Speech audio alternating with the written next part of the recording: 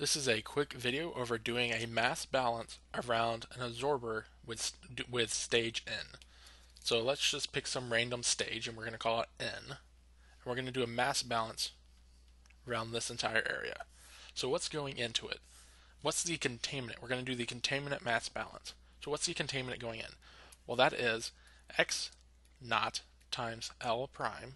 So that just becomes a contaminant because that is the contaminant over L prime and then when you multiply by L prime, you just get the contaminant, plus this, which is V prime times Y little n plus 1. So n plus 1 times V prime is equal to is equal to what's going out, and that's V prime v prime times y1 plus this, which is x n times L prime. Now let's solve this for y1. So we're going to solve for y1. So we get x naught times L prime plus y n plus 1 times v prime minus x n times L prime is equal to y1 v prime. We're going to divide by v prime, v prime, v prime, and v prime.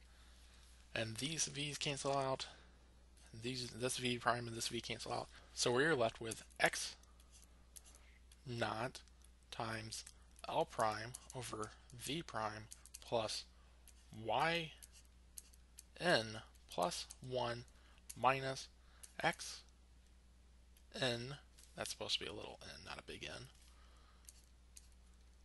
L prime over v prime is equal to y1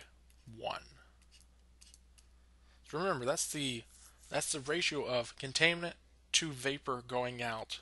So if we have to get that to a specific spot and we're stuck with say let's say we have six we have six uh,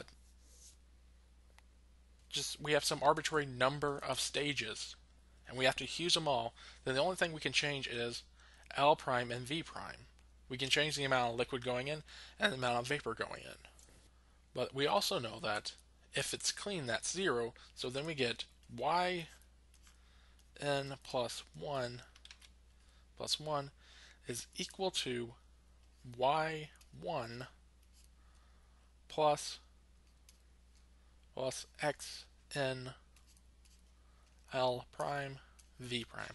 Why did I write that? That's actually so we can graph it and we'll actually get some useful information out of it when we uh, start graphing them. I mean, this seems like what you would want. You would want this, but it's actually much more useful to write it this way and use it in a graph. So in the next video, I will start graphing and we'll see where we get.